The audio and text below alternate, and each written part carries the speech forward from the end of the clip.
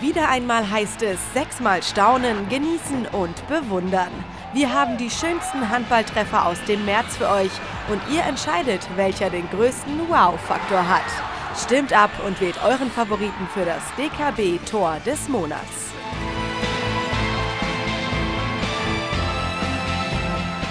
Mit Vollgas in Richtung Tor und dann so viel Gefühl.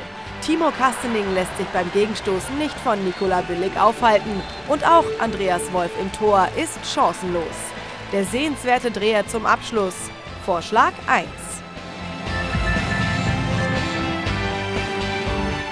Entweder ein richtig cooler Trick oder einfach nur ein glücklicher Zufall. Egal, Stefanie Lobedank mit einem wirklich seltenen Exemplar von Torwurf. Aber drin ist drin und nominiert zum DKB-Tor des Monats. Noch knapp anderthalb Minuten zu spielen, ein Tor im Rückstand und dann packen Andy Schmid und Alexander Pettersson so ein Ding aus. Zuckerpass des Löwenkapitäns auf den Isländer und Pettersson macht kurzen Prozess. Der Camper zu Tor 3.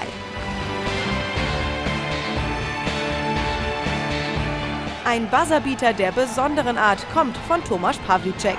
Er schaltet am schnellsten und knallt den Freiwurf einfach direkt mit der Sirene in die Maschen.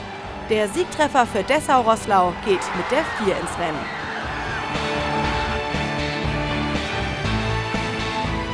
Nicht nur schön, sondern auch richtig wichtig ist Tor 5.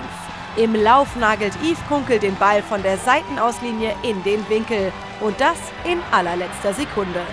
Ein Hammer zum Punktgewinn im Abstiegskampf für Balingen.